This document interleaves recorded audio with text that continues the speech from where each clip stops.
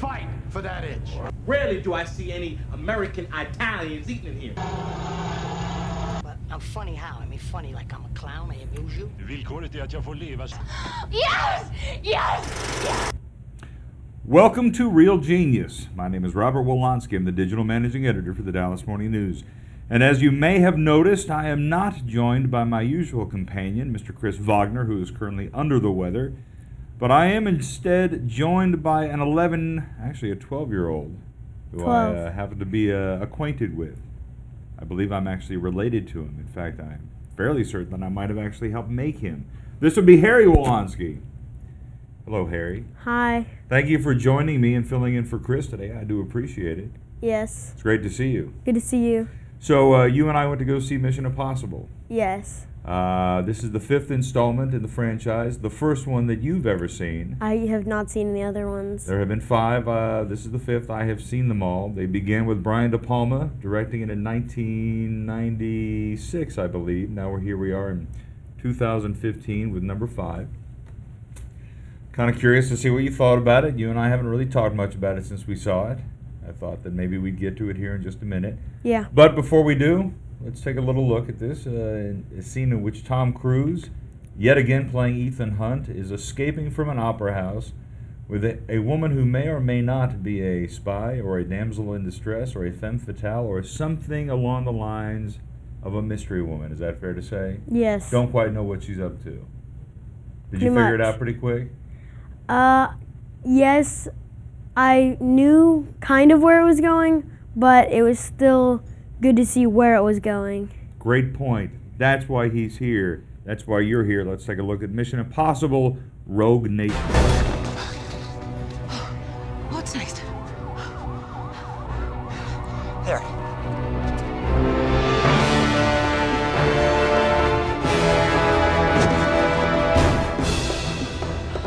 Shoes? Shoes,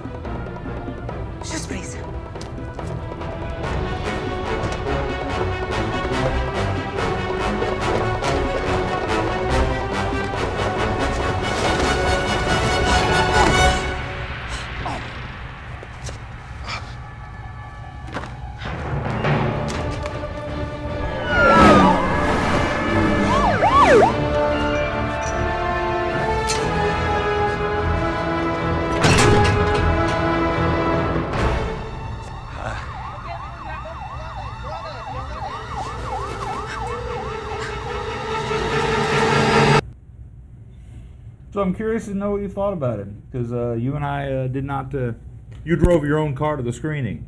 No, I didn't. So I'm curious to know how you felt about it. Uh, I really liked it. I mean, it was an action movie, and I've seen a few, but not a lot. And it was good to see how it developed. Now, see, my I, my point is, I, I feel like this is every action movie ever made. I feel like it kind of blends every movie I have ever seen, like an Alfred Hitchcock movie with Cary Grant or Jimmy Stewart, especially, or Casablanca, which I don't believe you've seen yet. I haven't. or even Top Gun. There's a bit of a Top Gun reference in here starring Tom Cruise, which Is- I don't think you've seen that either. Nope. So, Part of it. see, I think what's kind of great about this is that you haven't seen all of the movies that it kind of puts into a blender. Yeah. So this is really kind of a big, amped up version of a lot of movies that you'll probably see pretty soon. So I think that might have been what was cool for you, because none of this stuff felt old or familiar, right? L Cup felt kind of brand new. Yeah, it was. I saw a lot of similarities when they were like breaking into the the central brain of the entire uh, the entire organization. Right, they're trying to get this Yes. computer disk, there's some information with a, on a disk.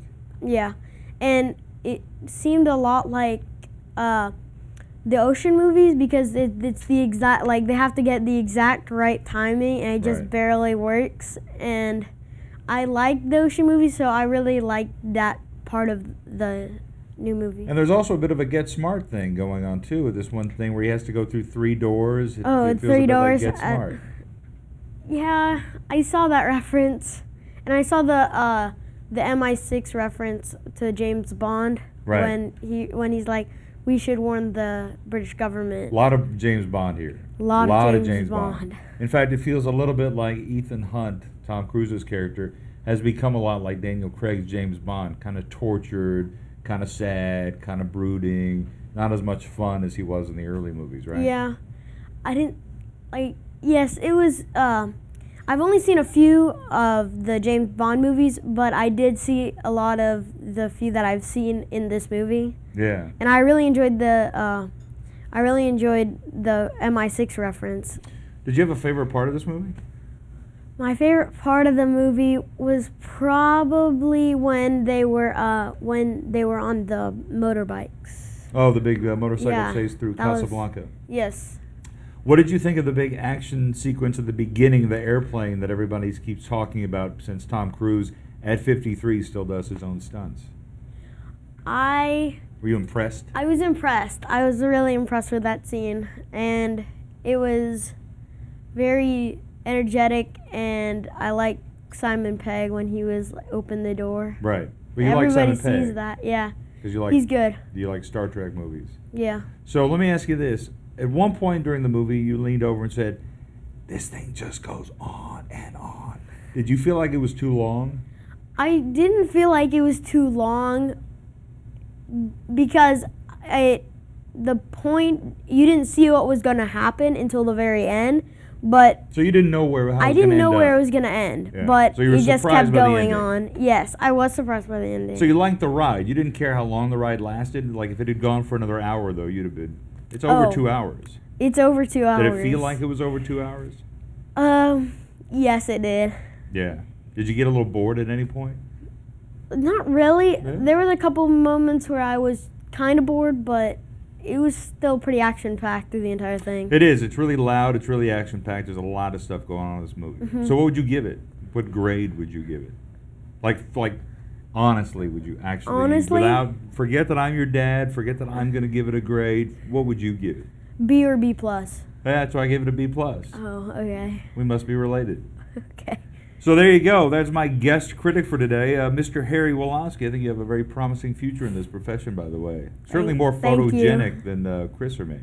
Okay. So I think people would much rather listen and, and watch you uh, talk about this stuff. Uh, Chris, I assume we'll be back next week unless uh, viewer demand is such that uh, you're forced to join us every week, uh, which could be problematic when school begins. But um, who knows? This this this really is where it's at. Okay. You feel good about that? Yeah. Okay. Any else? Anything else you want to plug while you're here? I think I'm good. You're good. I'm good. Okay. So that's Harry. I'm Robert, and we'll see you next week uh, on uh, Reel Genius.